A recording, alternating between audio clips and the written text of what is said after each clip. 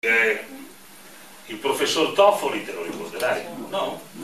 Era titolare di chimica farmaceutica. Eh, ma io non l'ho fatto. Eh, ed era anche direttore generale, direttore generale dell'Istituto Superiore Sanitario. Quindi non era l'ultimo venuto.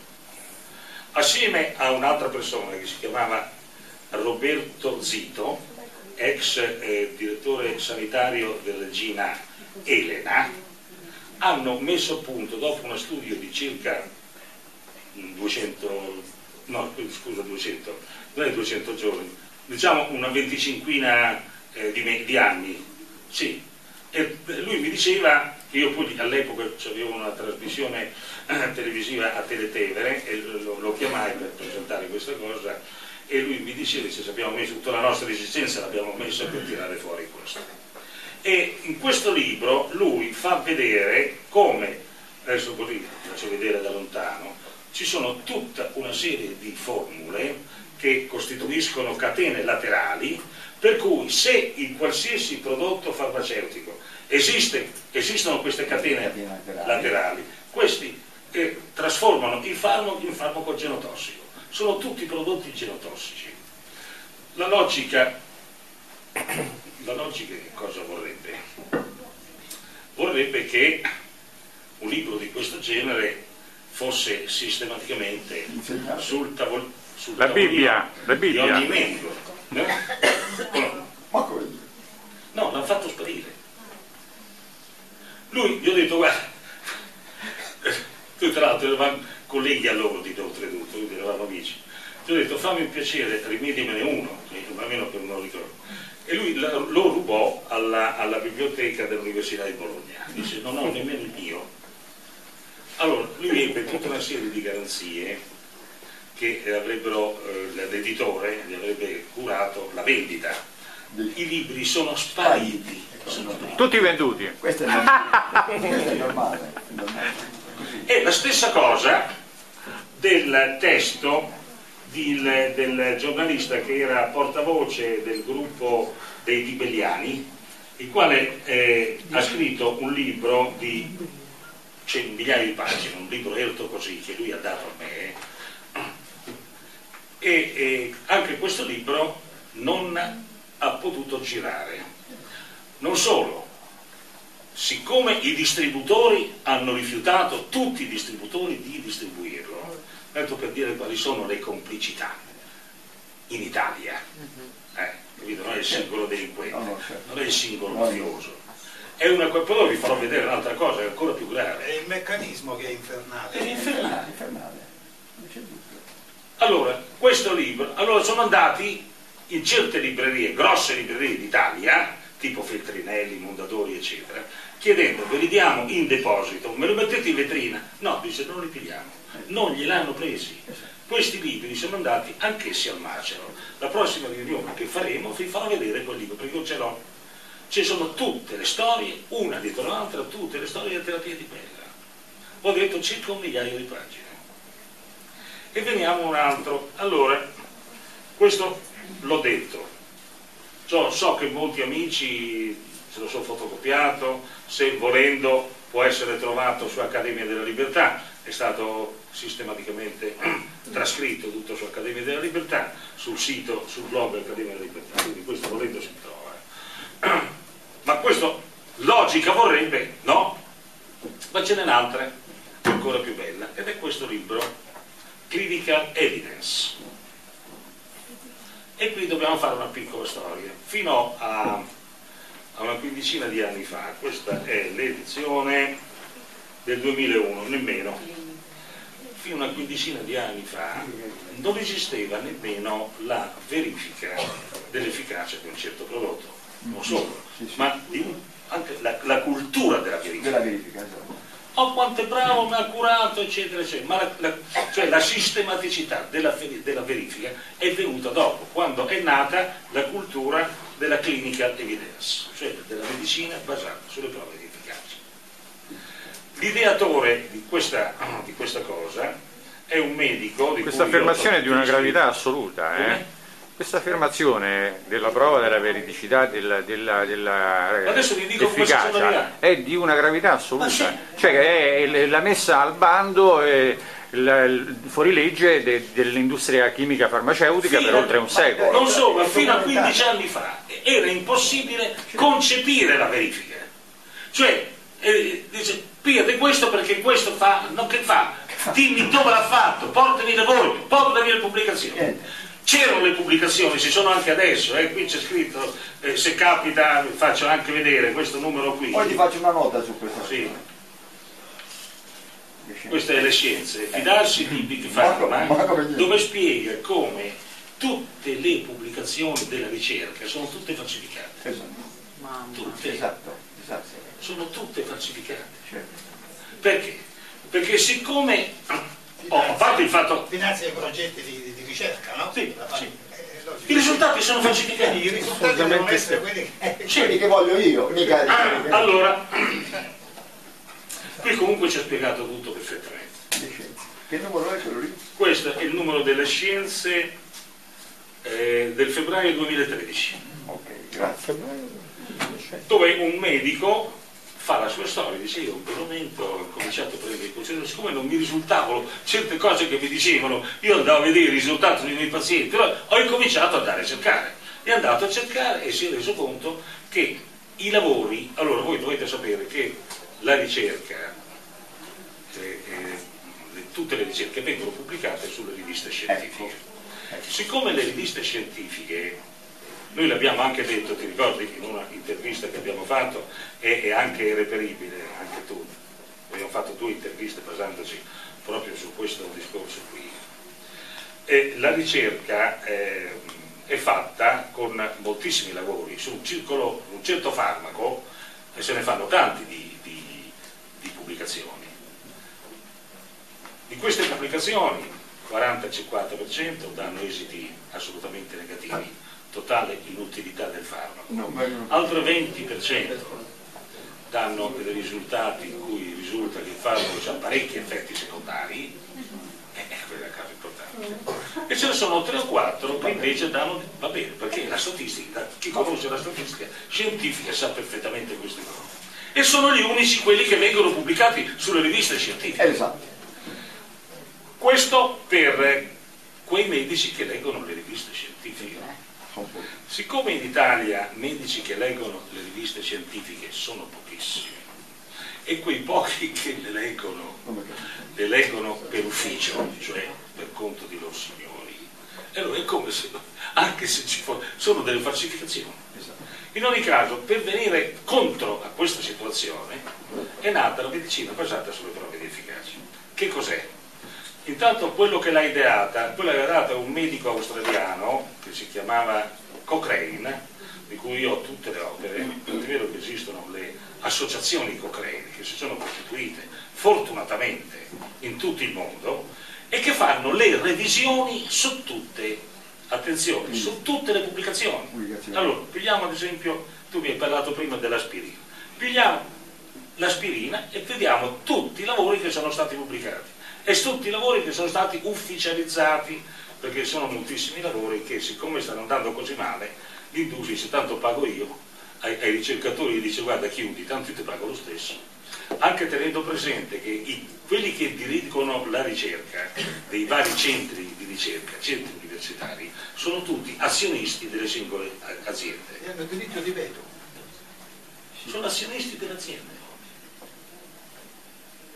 La cosa è incominciata da Rockefeller. Esattamente, nel 2000 bravissimo. Nel, nel 1900. Il condizionamento dell'università ha incominciato con loro, Rothschild e Rockefeller. Rockefeller. Si davano- sono impossessati dell'università. Perché gli facevano un regalo, gli davano un milione di dollari. Solo se facevano cifra- uscire. A quelli che. Lo stesso vale per la MMT, il Sì, Columbia. University e l'Evi Institute Sì, of Economics e compagnia bella. È cominciato così. Sono schiavi dell'industria Assolutamente. Ti leggo i finanziamenti, io ricordo che eh, io avevo ho avuto sempre molti rapporti molto stretti con tanta gente e con tanti giornalisti scientifici italiani. Uno di questi, che era uno dei più bravi, che oh, poveraccio, doveva anche campare, eh, certo, eh, certo. eh, eh, mi disse un giorno, facevamo parte della stessa commissione presso l'Istituto Superiore di Sanità, una commissione appunto che analizzava, vedeva qual, erano, eh, qual, erano, eh, qual era dire, il programma aziendale dietro un prodotto, no?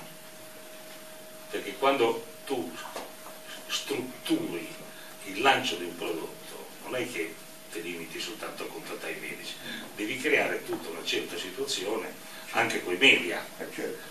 Ad esempio, ad esempio la, la, la, viaria, la viaria. Quando, quando su tutti i giornali uscì la notizia di una che era morta e poi risultò che era morta un anno prima, no?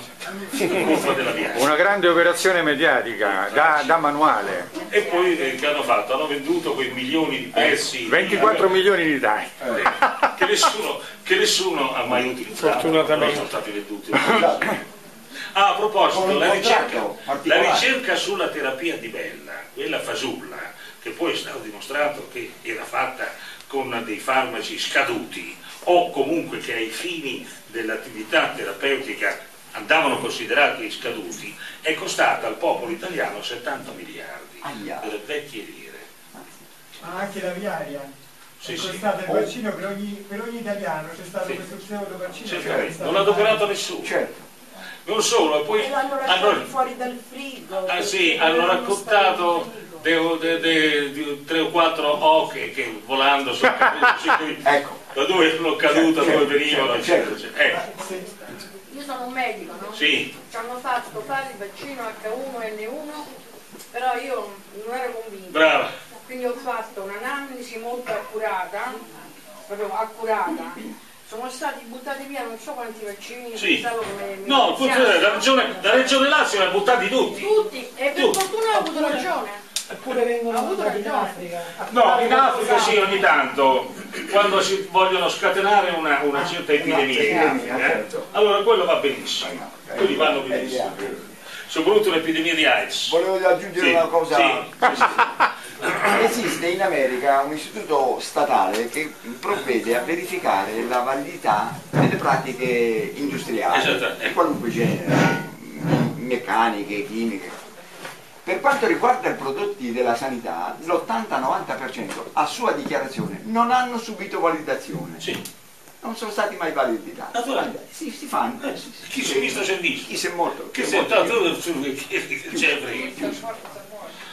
E questa parte è la sperimentazione sull'animale, perché allora poi ci vuole la conferma della sperimentazione dell'animale. Io avrei voluto portare un libro che però ho portato altre volte, era un testo molto importante, sicuramente tu lo conosci, sulla non validità della sperimentazione degli animali, danni provocati da farmaci, titolato Danni provocati da farmaci sulla sperimentazione degli animali. Anche quello. Però diciamolo a questo qui perché è bella, visto che c'è un medico, sicuramente lei questo non sa nemmeno che cos'è. Non lo so, non lo vedo da qua giù, sono senza occhiali. Eh, questo è clinical evidence, No, è appunto medicina basata sulle prove efficaci. Allora diciamo come stanno le cose, che è ancora più divertente. Allora, sulla base dei lavori di questo Cochrane, eh, inizialmente di questo Cochrane, che era stato, eh, lui quando fa la sua autobiografia racconta questo, caso- questo aspetto molto importante, lui era un medico militare e eh, fu fatto prigioniero e si prevedeva Scusate giapponese. un secondo che chiudo qui, se no. E lui prevedeva eh, di avere una marea di morti, di immagini di campi di concentramento, sai quanti morti c'è.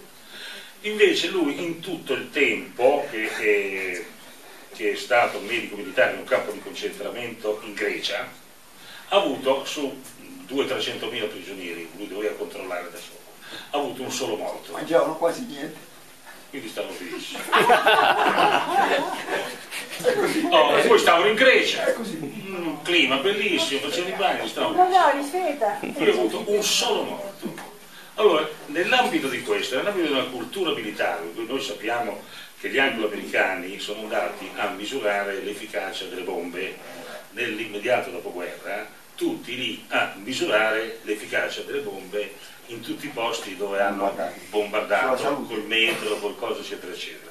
Tant'è vero che io, eh, la chimica di guerra, io feci chimica di guerra, tu l'hai fatta? No, chimica- no. Io chimica di guerra la feci andando a, a leggere tutti i dati statistici relativi allo sgancio delle due bombe atomiche che sono di un interesse estremo. Eh, beh, certo. E anche lì quello è tutto un discorso che dovrebbe essere capito Allora, questa grande pericolosità della bomba atomica non è assolutamente vera, perché i dati statistici ci dicono che la bomba atomica ha provocato ben poche delle morti che poi dicono, hai capito? Perché? Perché a loro erano interessati, nel momento in cui gli americani erano gli unici, che possedevano la bomba atomica, erano, erano interessati, e questo lo fece Einstein, il buon Einstein, il quale per, per avere ottemperato a questa bisogna, è vero, era, si era fatto valutare come buono, laddove era il primo, la prima causa del- dello sganciamento delle bombe atomiche, perché fu lui con una lettera negli anni 30 che eh, i- eh, convinse Roosevelt a, eh, a fare la guerra atomica. No.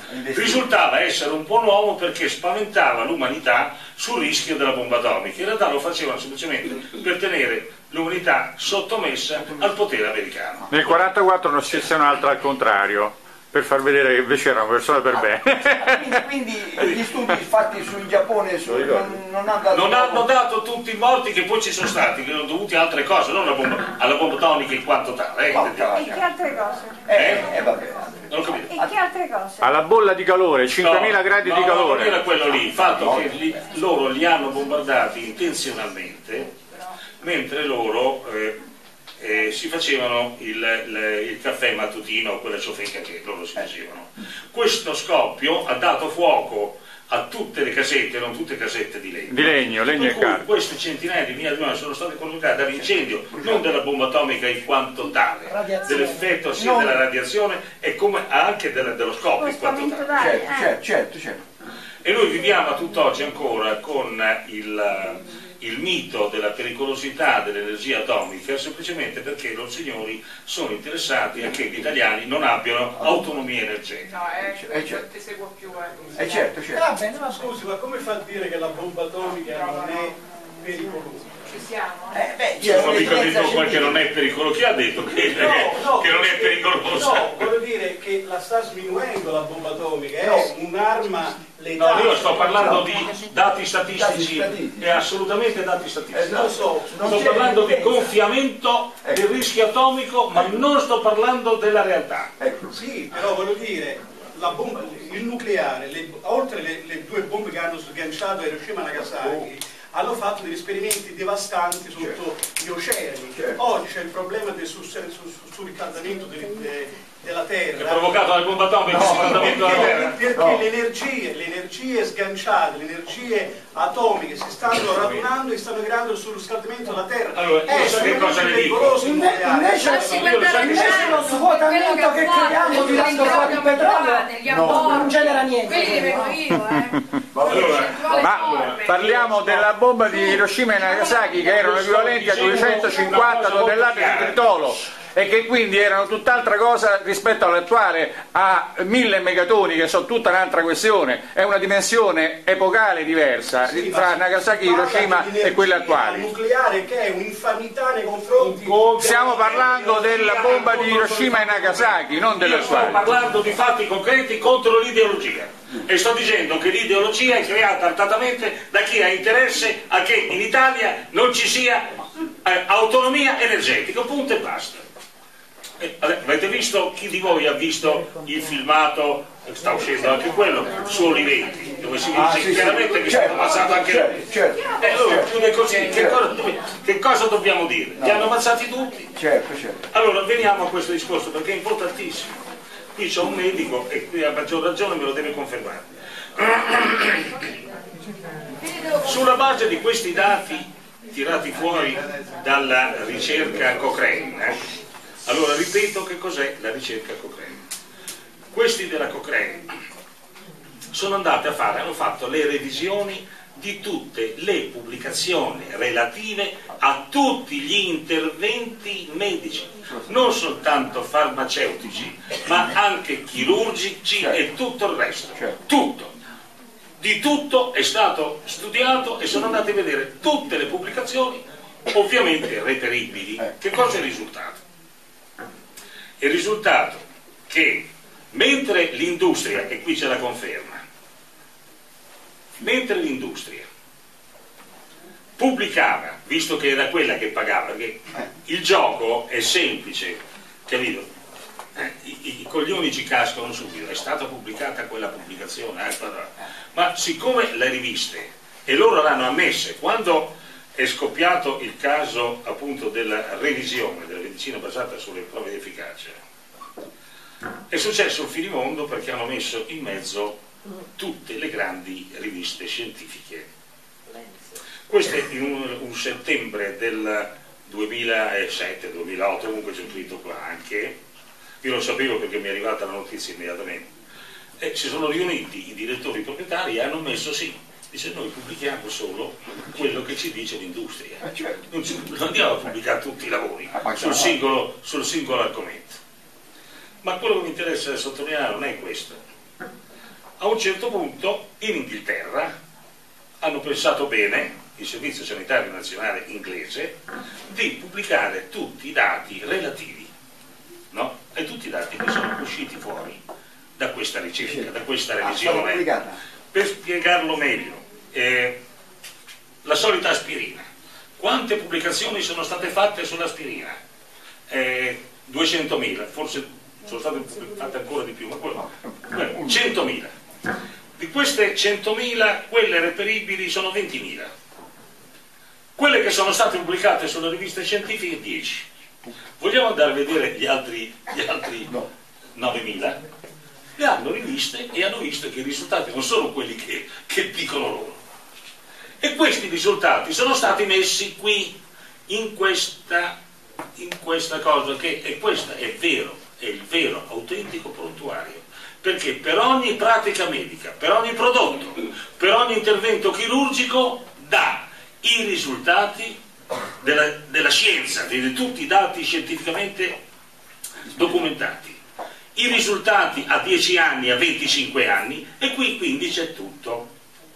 Quindi dico io, questo dovrebbe essere nello studio di ogni medico.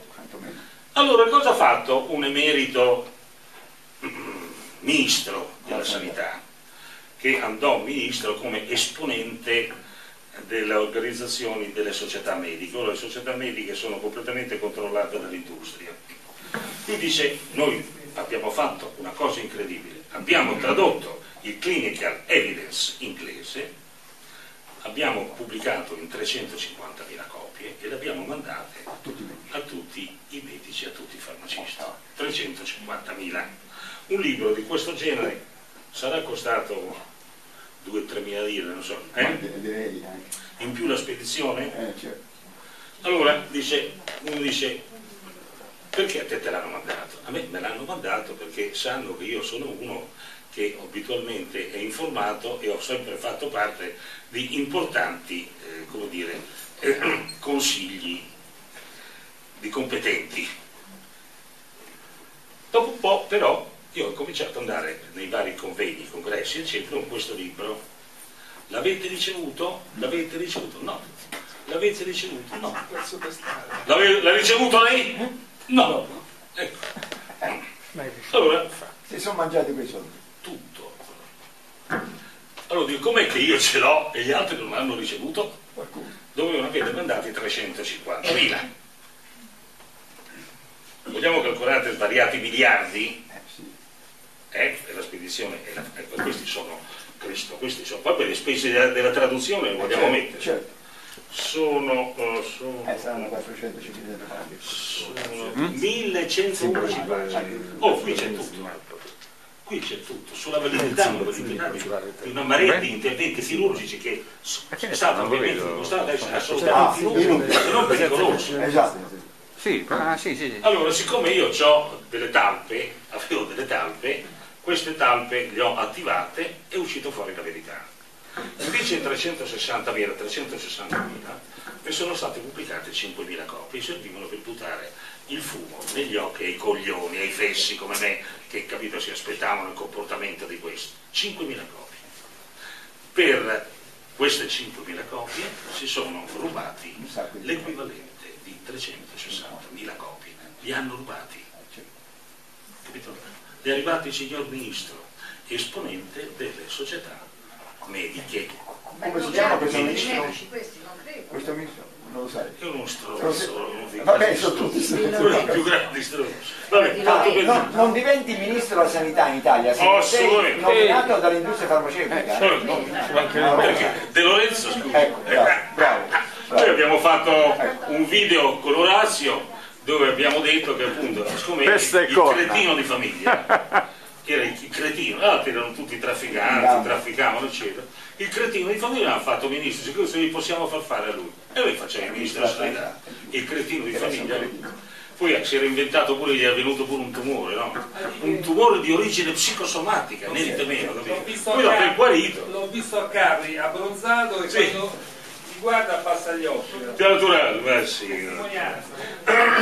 Basta gli occhi perché ha fa. fatto la figura del fesso, cioè lui bassa gli occhi perché nei confronti dei suoi compari camorristi, Eh. lui, il padre suo e i suoi fratelli, Esatto. no? ha fatto la figura del fesso, è andato al gabbio. Lui è andato al gabbio, Eh. camorrista vero al gabbio Non ci va. non ce va. Eh, no. Allora, io vi ho raccontato queste cose perché è interessante per riuscire a capire l'interconnessione che c'è tra eh, la, la malafede sanitaria, lo sfruttamento del cittadino a fini economici con la scusa della sanità e queste cosche mafiose che di fronte alle quali un mafioso veramente a farci altri Sì, sapere, sì, sì. intanto rischia il proprio. Esatto. Esatto. Questi non rischiano nulla. Io ho detto, ho portato questo librettino sulle, sulle cellule staminali. Per quale ragione, mi dite, hanno decretato che quella povera bambina deve morire perché non gli vogliono dare le staminali? Eh, motivi, Eh, ve lo ricordate, lo sapete in questo caso, sì. sono motivi ideologici. Eh? Dove? Andate a Montecitorio che stanno protestando gli Sì. fratelli Biliano Sì, dal 23 luglio. sì. Però, porco Giuda, ma mi dite per quale ragione, laddove è stato dimostrato che la terapia con le staminali è andata bene col fratello, perché non lo dovete dare a questa bambina? Qual è il veto che è partito? Qual è l'industria farmaceutica che a questa gente gli ha detto non dovete dare le staminali? Chi è che è interessato se non l'industria Ah farmaceutica? certo, se è una cura che funziona è interessata che non ci È sia. una cura alternativa, naturale. Certo. La più naturale che ci sia. Qual è la cura più naturale che ridargli la, la cellula eh, primordiale come cura? È esiste una omeopatia più omeopatia di quella? Io non so. La dovresti accettare immediatamente e basta. Ah, sei riuscito a ottenere qualcosa, non dico tutto, qualcosa con questa cura, tra l'altro ottenibile gratis. No, io mi ricordo che sono anni e anni che si parlava del cordone ombelicale, no? la donazione del cordone ombelicale. L'ave- avresti dovuto prendere a braccia aperte, avresti dovuto dire Gli animali se lo mangiano il cordone umbilicale, non a caso. Eh sì, appunto. Ecco, e questo l'ho fatto vedere per questa ragione. Poi, poi, eh, sì, poi abbiamo altre tre o quattro cose. Qui c'è una notiziola che è stata pubblicata sul metro. Allora, si sono accorti adesso che è aumentata la mortalità infantile nelle zone dove hanno seppellito tutte quelle La porcheria. ma scusate un minuto, ma siamo nel 2013. E di adesso questo Sì. Ma c'è bisogno di arrivare adesso. E adesso se ne parla.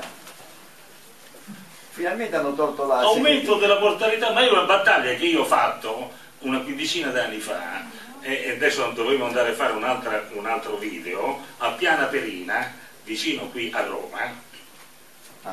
vicino a, a, a Riano Flaminio, dove per vent'anni di nascosto hanno scaricato tutti i rifiuti dell'industria farmaceutica Pfizer. avrebbero dovuti, avrebbero dovuti portarli a- no, in, quella, in quella zona dove c'è eh, quella grande discarica per i rifiuti tossico-nocivi eh, del nord, vicino a Genova, Piate Grasso, non mi ricordo bene dove, cioè, non mi viene bene il nome. Invece belli belli partivano da, da Aprilia, da Pomezia e scaricavano qui a Piana Perina in una cava di tufo hanno scavato e hanno buttato, poi coprivano le, eh, quelli che tagliavano per prendere eh, I rottami, mattoni, i, ro- mattoni i rottami di blocchi. i blocchi, tutto il polverone. Il giorno dopo loro ci andavano la notte, scaricavano la notte e il polverone sopra buttavano eh, e coprivano. Hanno ricreato chi va in quel posto, che è bellissimo, è tutto un posto collinare di tufo, e vede che ci sono queste zone, queste- questo paesaggio del tutto spettrale, no? dove ci sono tutte queste colline tutte tagliate, ma è bellissimo, roba da film eh, di grande valore. E io mi sono interessato della questione, fui coinvolto, ti ricordi che eh, piacque molto anche al, al professore Elia? Certo. Eh, Delia, il professor Delia, Certo. ti ricordi anche tu Certo. quando feci quelle interviste Ricordo, televisive? ricordo, Una me l'hanno mandata. Ricordo venisti a parlare alla Eh, ti ricordo. E una me l'hanno mandata in onda alle due di notte. Tanto per dire. Guarda, Rai 3. Si sono permessi di mandarla alle due di notte. Non puoi, non puoi dire che non l'hanno trasmesso. Infatti mi telefono un collega dal nord, dice ma tu alle due di notte? No, dico io veramente me l'hanno mandata alle due di notte. Io l'intervista l'ho fatta alle 10 di mattina, perché quando arrivò la commissione parlamentare e si misero a scalare, uscì fuori ogni porcata. Allora mi chiamarono immediatamente, visto quello che facevo quella battaglia, mi chiamarono e, e- c'erano tutti i giornalisti e ho fatto questa intervista.